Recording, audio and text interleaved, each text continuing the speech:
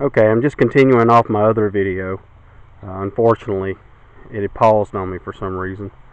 But this is my son's bow. This is the one that I spent the most time on. You can see the limbs are absolutely perfect on this bow. Could not ask for anything better. He has killed several things with this little bow. Squirrels, as I forgot to mention in the other video, uh, it would be hard to tell you how many squirrels I've killed with that uh, bow of mine. And my brother also has killed a couple of squirrels with his bow. But it's just fun to shoot frogs. We like to frog gig with them. And uh, that's typically what they're used for. Even though, like I've said, I have killed other animals with them. Um, the deer, of course, being the biggest.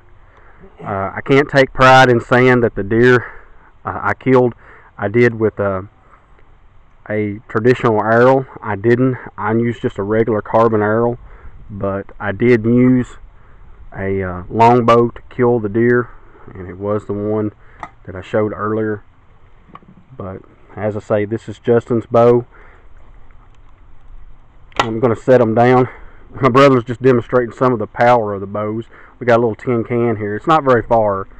Uh, we're kind of fearful about doing that. You can see why we have our precious little babies here all over the place and we can't really afford to, to shoot our arrows especially in the rain and have them glance off something and hit one of them.